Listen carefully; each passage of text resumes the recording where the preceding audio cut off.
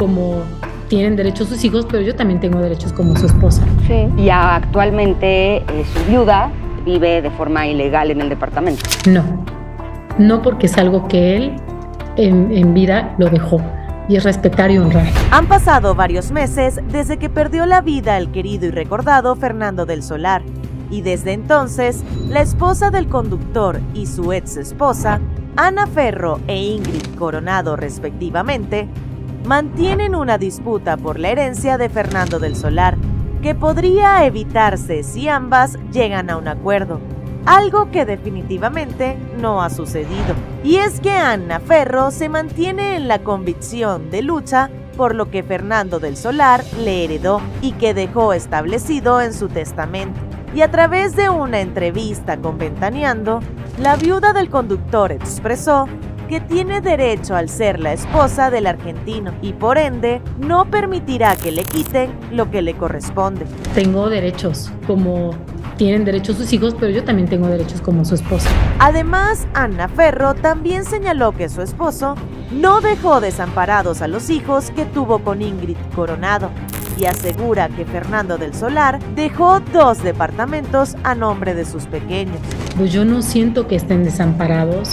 Y tras la pérdida de su esposo, Ana Ferro, asegura que Ingrid Coronado se puso en contacto con la persona que renta el departamento que Fernando cobraba para que ella pudiera recibir el dinero. Y el día lunes ella está buscando al, al, inquilino para ponerse de acuerdo con esa persona. Así que... Y también quiso dejar en claro que la conocida conductora de televisión ya tomó posesión de los dos departamentos que Fernando le heredó a sus hijos Luciano y Paolo. Pero sí, lo que yo sé sí, tengo entendido que hay una persona que lo está este, rentando.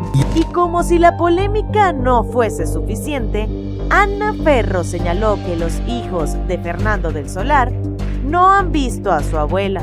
Han sido mis cuñadas las que han estado ahí más en contacto con esta parte de, de, para poder ver a los chicos y todo. Y al preguntarle si ella ha podido hablar con los niños, Ana declaró que no, porque al parecer está bloqueada. Sí, pero no tengo este eso, estoy bloqueada. Sin embargo, a pesar de todo lo que se ha dicho en los últimos meses, Ana Ferro sigue expresando su interés de tener contacto con Ingrid Coronado, con la finalidad de llegar a un acuerdo con relación a la herencia del argentino.